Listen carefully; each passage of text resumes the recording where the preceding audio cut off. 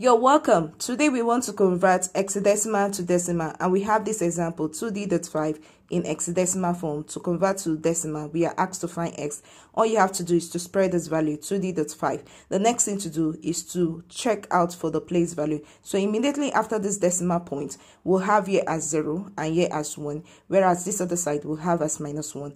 Now, 2 times 16 raised to power 1 plus d times 16 raised to power 0 plus 5 times 16 raised to power minus 1. Now 16 raised to power 1 will be 16, 16 raised to power 0 will be 1, and here we have 1 over 16. So we'll have 2 times 16 plus 13 times 1 plus 5 times 1 over 16. So our sum total will be 45.3125, which represents S. So do well to watch my subsequent video and please subscribe to this channel for more knowledge on number-based conversion and also digital electronics. Thank you. Have a nice day. See you right back. Bye.